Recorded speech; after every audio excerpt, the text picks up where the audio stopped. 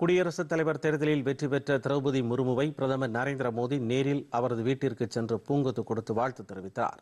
திரௌபதி முர்மு வெற்றி குறித்து கருத்து தெரிவித்துள்ள பிரதமர் நரேந்திர மோடி இந்தியா வரலாறு படைத்துள்ளது என்றும் பழங்குடி வகுப்பைச் சேர்ந்த பெண்மணி குடியரசுத் தலைவராக தேர்ந்தெடுக்கப்பட்டுள்ளதாகவும் குறிப்பிட்டுள்ளார். இதன் மூலம் நாட்டு மக்கள் மத்தியில் புதிய நம்பிக்கை உருவாக்கப்பட்டுள்ளது என்றும் பிரதமர் தெரிவித்துள்ளார்.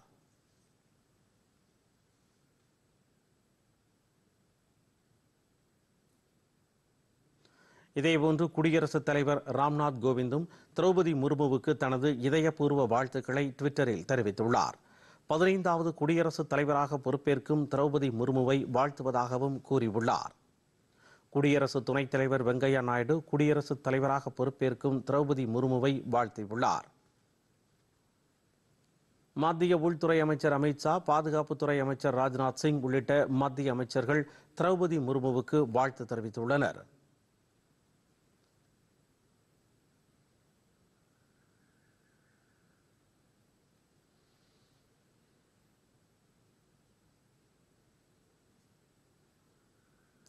தமிழக ஆளுநர் ஆர் என் ரவி குடியரசுத் தலைவராக பொறுப்பு வகிக்கவிருக்கும் திரௌபதி முர்மு நாட்டை திறம்பட வழிநடத்துவார் என்று வாழ்த்தியுள்ளார். திரௌபதி முர்மு குடியரசுத் தலைவராக தேர்வானது உலக அரங்கில் பெண் உரிமையை வலிமையாக நிலைநாட்டிய குடியரசு நாடாக இந்தியா மிளர்ந்து கொண்டிருப்பதாக தெலுங்கானா ஆளுநர் தமிழிசை வாழ்த்தியுள்ளார். இதேபோல் இந்தியாவின் மிக உயர்ந்த அரசியலமைப்பு சட்ட பொறுப்பிற்கு தேர்ந்தெடுக்கப்பட்டிருக்கும் திரௌபதி முர்முவை வாழ்த்துவதாக முதலமைச்சர் மு க ஸ்டாலின் குறிப்பிட்டுள்ளார்.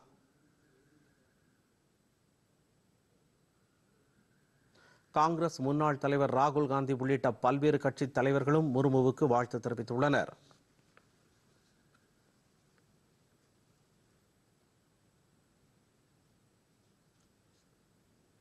திரௌபதி முர்மு வெற்றி பெற்றதை பல்வேறு தரப்பினரும் கொண்டாடி வருகின்றனர். தில்லியில் பிஜேபி கட்சி அலுவலகத்தில் ஏராளமான தொண்டர்கள் ஆடி பாடி கொண்டாடினர்.